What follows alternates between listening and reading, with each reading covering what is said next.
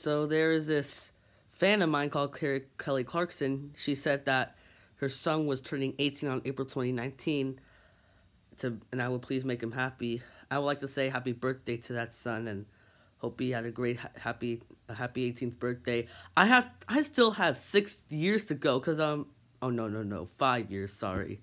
Cuz I'm 13 right now. And I'm sorry but I could not upload that Life with Miss Martin thing cuz this moron tricked me into deleting my video into del- deleting my videos.